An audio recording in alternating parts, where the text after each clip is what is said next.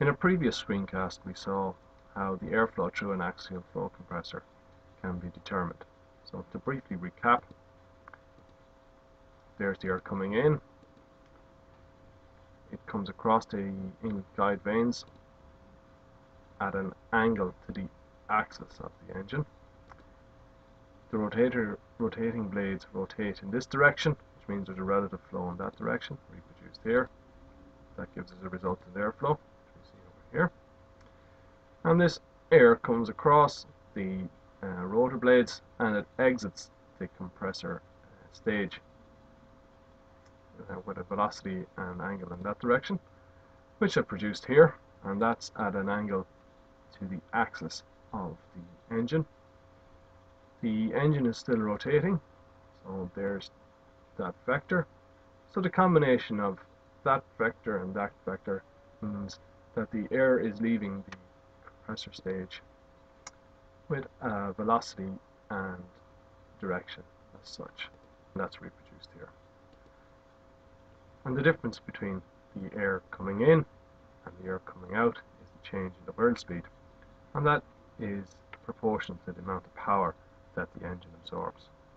We saw that we can ca calculate this change in whirl speed. If we know that angle, we can calculate the output whirl speed.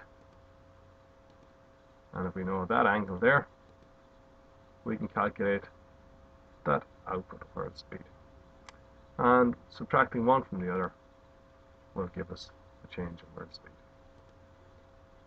So to be able to calculate these, we'll need to know the quantity of that vector there, and that is the axial velocity CA.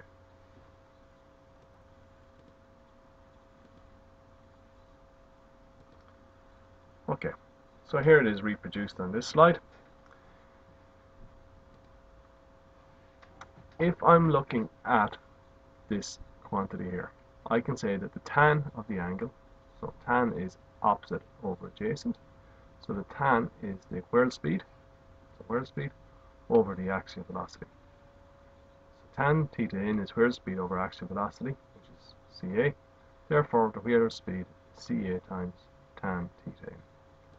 Similarly, the uh, whirl speed on the output side is Ca tan theta out. So the change in whirl speed or change in velocity is therefore Ca times tan theta out minus tan theta in.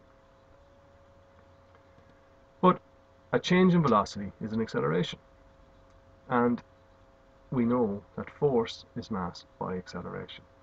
So if I multiply this quantity here by the mass of air I will get a force.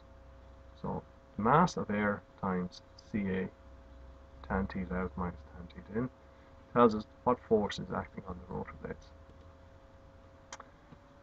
But work is force by distance.